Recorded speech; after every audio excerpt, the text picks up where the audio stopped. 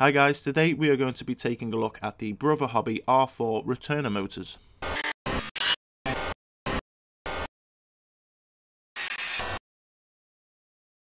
Now I'm going to be a little bit rusty with my review here because I haven't done one in such a long time, mainly because I've been spending the last six months just racing around the country and in fact racing around the world. So forgive me. So I was lucky enough to be sent out some of these Brother Hobby motors. So these are the 2206 2300. And I'll be honest, when I first saw them, I thought they were a little bit gimmicky, what with their green and pinkish purpley colours. But once I'd actually put them on the quad, they actually started to really grow on me and I actually like the colours quite a lot. Now I've had quite a few people say to me, oh they're just colourful ZMX motors, which isn't really true. And I would agree that the bell housing itself does look a little bit like the ZMX, however internally it is completely different. Here is a ZMX X25 and looking at the bottoms you can see that the Brother Hobby actually is recessed more. You've got the bearing further in and has a, a larger washer on board. Both of them use a 1.5mm Allen key to take the bell housing off, which is nice for cleaning and maintenance. The magnets used are N52H and you'll notice that both of them are curved magnets but the ZMX are slightly thicker and spaced out differently compared to the Brother Hobby. So as I mentioned it only takes a 1.5mm key just to undo this one single screw here to get in and take the bell housing off.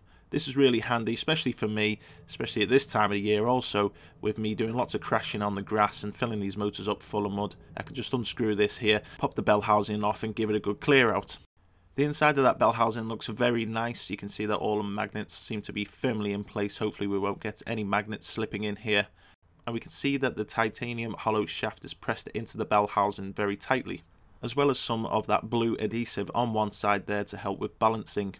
Looking at the stator side of things, we're using 0.15 silicone steel, Japanese EZO bearings, and a 7075 aluminium base. Now I've seen a few motors, not these motors, other motors having problems with the stator staying stuck to that base and actually starting to twist and causing desync issues, but uh, that isn't a problem here. Now my plan here was to open up the ZMX and show you the internals against the Brother Hobby, but unfortunately, despite removing everything, I could not open up the bell housing on the ZMX.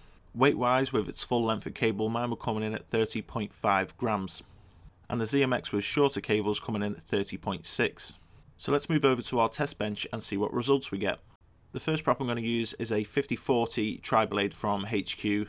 This is very popular with most of the sponsored pilots. Uh, I personally don't like them because they just break too easy. However, they are very light, spin up very quickly and give good performance. The battery that I'm going to be using for these tests is a 1575C AC 4-cell LiPo.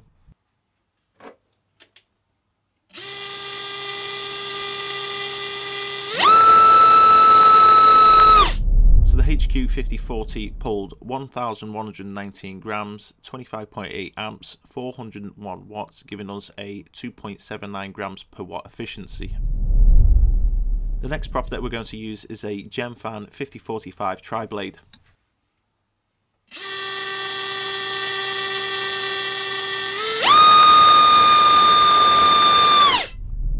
The Gemfan 5045 against the HQ, we got 1179 grams, that's extra 60 grams, 29.77 amps, that's an extra 3.97 amps, 457.8 watts, that's an extra 56.8 watts, and the efficiency went down by 0.22.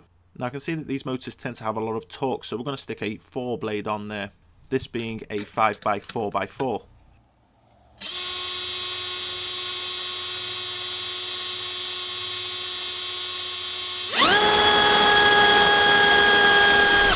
HQ 5x4x4 managed to pull 1,171 grams. That's only 8 grams less than the Gemfans that we just had on. The amps went down to 28.99, that's almost a whole amp less. 449.9 watts, that's minus 9.9, and an efficiency of 2.60, that's efficiency actually up by 0.3. This time round, we're going to try one of the new hype props, which is the RaceKraft 5051.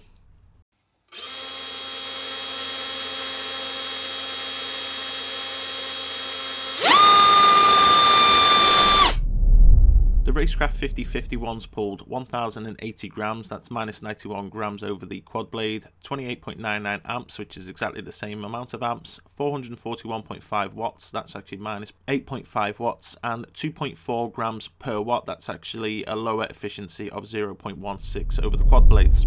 The final prop that I'm going to use on here is a Kong 5x4.5. I really like these because they are durable and they're extremely cheap as well as well balanced.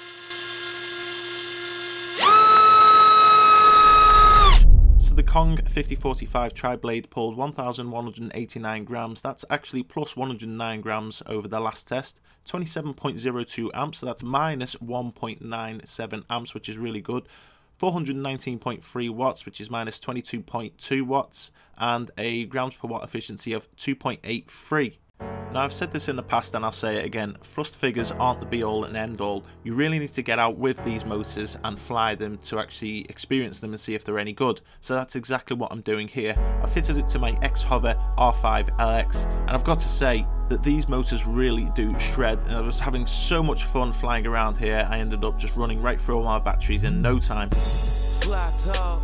Follow me, no designer quote and open your mind with the vocab and let it live in your lab. No need to pack your bags, your itineraries everywhere we at. Like every time we chat, to ticket your emotions. I don't cause tears, but help you to create oceans. Always riding first class, never need an upgrade. Let me stamp your passport, secure you extended days. In sun rays, you pick the place. I'll make the time a little faith is all it takes. Put it in my hands. Can't wait for them to touch on my controls and let the destiny unfold just secure yourself. But have no fear, let me take you on a trip. We don't need landing gear, just secure yourself. But have no fear, let me take you on a trip. We don't need landing gear. Let's get the flow in, let's get the flow in. Put your body in motion, your body in motion, baby. Lay back, enjoy the ride, let it ride. Cloud nine seventh heaven. Another level, I break it down into segments. Now, because these motors were feeling so good to me, I decided to keep them on my main rig for the UK drone show. So that was last weekend, the 4th and 5th of uh, December and I did pretty well. In fact, I came fifth overall. Now, I could have definitely pushed myself a little bit harder. In fact, in this race, I ended up crashing with uh, teammate Jab, and uh, we took each other out, and that lost me second position. So I ended up in third, which put me out of the final. So there's the crash there, me and Jab, and as you see, I'll be able to get back up and get going again. And I thought I was actually in second position, but I wasn't. I was in third. If I had known that, I would have pushed a bit harder and tried to take second again and get into the final. But fifth place wasn't bad overall. Now I was smacking these motors off of the posts that you see there. These are aluminium trusses, and uh, I didn't break a single motor during the whole weekend of racing, and I managed to use the one quad all weekend. So definitely a thumbs up for these motors.